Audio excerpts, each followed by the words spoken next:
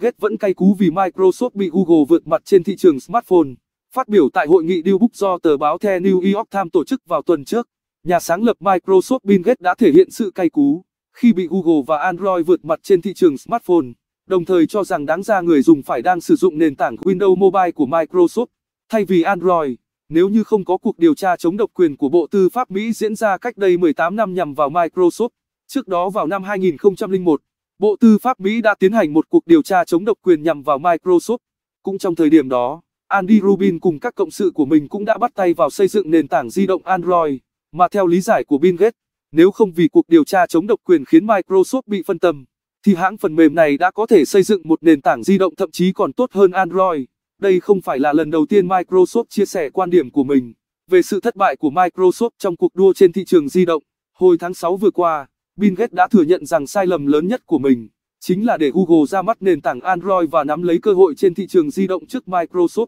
Bill Gates ước tính rằng Android đã chiếm lĩnh thị trường di động trị giá 400 tỷ đô la Mỹ nhờ Android, và nếu Microsoft tập trung tốt hơn vào thị trường smartphone, phát triển nền tảng di động tốt hơn trước khi Android ra mắt thị trường, Microsoft đã có thể nắm giữ thị trường 400 tỷ đô la Mỹ này.